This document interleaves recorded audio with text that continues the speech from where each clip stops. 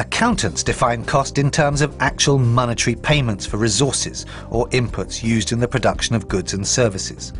These are called the explicit cost of production.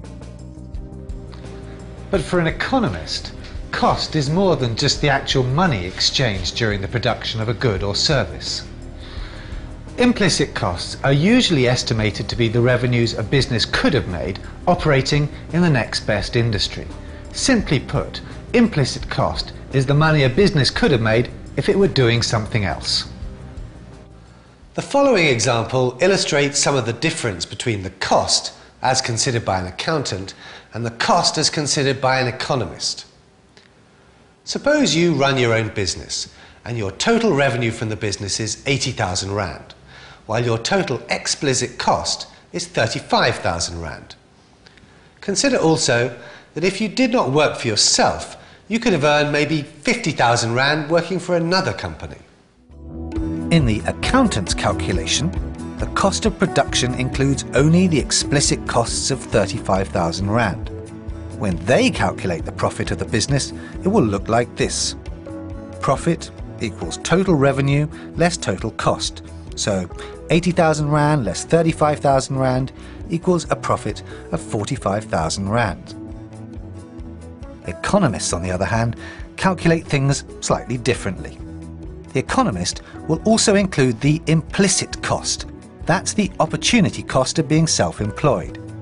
If you didn't run your own business and work for someone else, you might have earned 50,000 Rand. Now this represents the opportunity cost of being self-employed.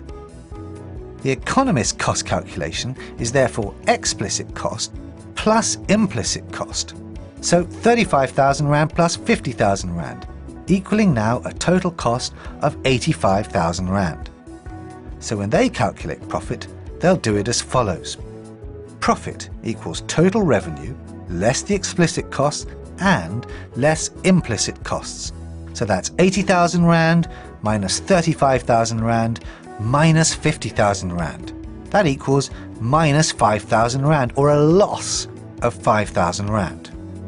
As economists see things, you are in fact losing money by running your own business. You'd be better off financially selling your labour to another firm.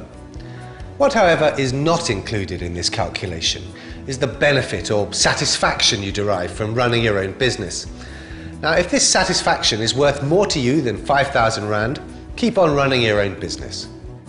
This example illustrates the implicit costs of a self-employed resource. That's you, the business owner. In many cases, however, your firm might also own the land, buildings or the machinery that is used in the production of your product. These are called self-owned resources. And according to economists, these costs must be included since we are, after all, interested in all the uses that are made of our scarce resources.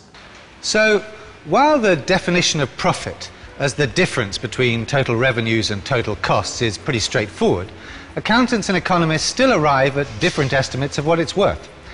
This is because accountants only consider explicit costs, whereas economists consider both explicit and implicit costs. A good example of an implicit cost is the opportunity cost of self-employment. That is, the amount of money you might have made working for someone else. Now, in calculating your economic profit, economists deduct that possible salary from your total profit. Consider the following example. Assume you're a mechanic and you run your own repair business from a small workshop on your property. Initially, you spent 50,000 Rand to buy tools and equipment, and after your first year, your total revenue was 230,000 Rand, and your total explicit cost was 120,000 Rand. An accountant would do the following calculation.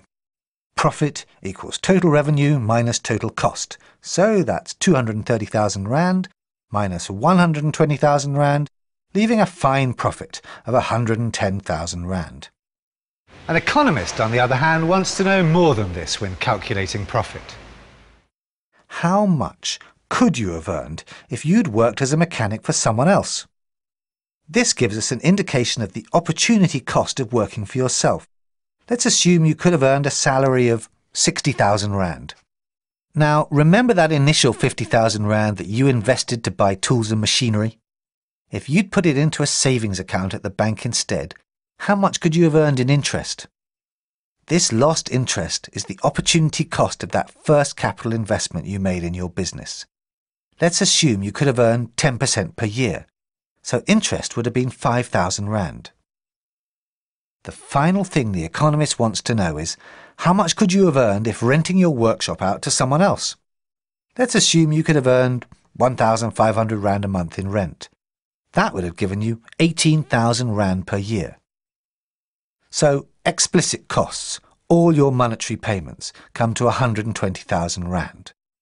Implicit costs include the opportunity cost of working for yourself, that's 60,000 Rand, plus the interest lost investing in equipment instead of saving, that's 5,000 Rand, plus the rent you could have earned in the year renting to someone else, that was 18,000 Rand. In other words, your implicit cost equals 83,000 Rand. So your total costs, explicit and implicit, amount to 203,000 Rand. The profit calculation is now total revenue minus total cost, that's explicit plus implicit costs.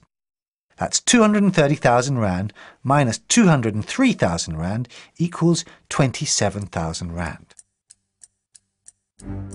Part of the implicit cost is the opportunity cost of being self-employed, and this implies that in the calculation of costs by an economist, normal profits are included.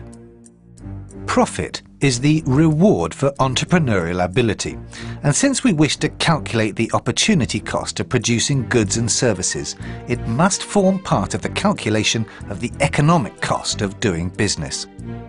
In other words, from an economic point of view, when total revenue is equal to total cost, it does not mean that the firm is not making a profit. It means it's making a normal profit only. What about the case where total revenue exceeds total cost, as in the example above? Well, in this case, an economist will say the business is not only making a normal profit, but also an economic profit, which is the additional return to the entrepreneur over and above the minimum payment required to keep the owner's entrepreneurial abilities self-employed.